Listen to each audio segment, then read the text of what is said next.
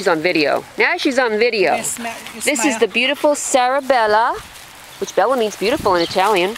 We're not going to drink puddle water, goodness gracious. She's nine years old, but she's got a lot of spunk left in her. She's she's not old. She's just middle aged. Yes. And she's She's very, pretty. Very loving girl. Yeah, she is really loving. You're a sweet baby girl. Can you sit like a big girl? Can you sit like a big girl? You're so pretty. Sara Bella. Got a little pink on your nose. He's very cute. Yeah, she does have a little pink. Yeah, you can just tell she's really sweet.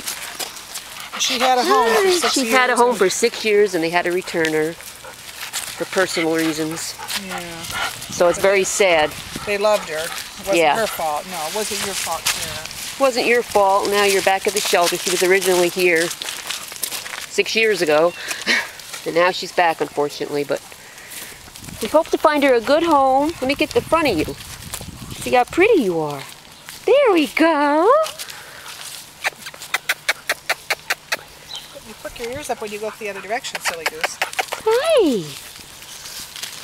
There's Yeah. good smells here, yes. She's a good girl. I think she's Somebody- probably like a lab pointer mix. Yeah, lab pointer. That's a good.